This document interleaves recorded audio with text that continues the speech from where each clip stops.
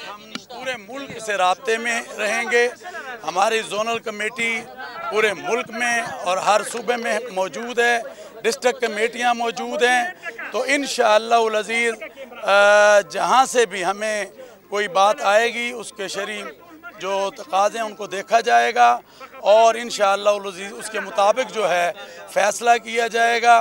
तो मेरी आप तमाम हजरात से दरख्वास्त होगी मीडिया के भाइयों से कौम को कि आप ज़रा इंतज़ार कीजिए। इन शजीज़ जो भी मरकज़ी रोयत हिलाल कमेटी फ़ैसला करेगी इन शजीज़ वो शरी तकाज और शहादतों की बुनियाद पर किया जाएगा। जी। अच्छा अगर शहाबुद्दीन की जो कमेटी है वो भी आज बैठी हुई है तो आप है आपको उनके साथ? नहीं। जी क्यों?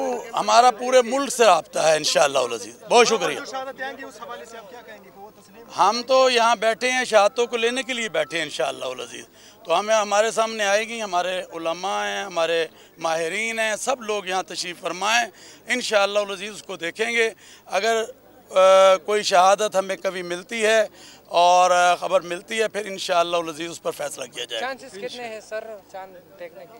अभी तो हम पूरे मुल्क क्योंकि हमारा काम है आँख से देखना और शरीयत के मुताबिक और शहादत की बुनियाद पर फैसला करना जी।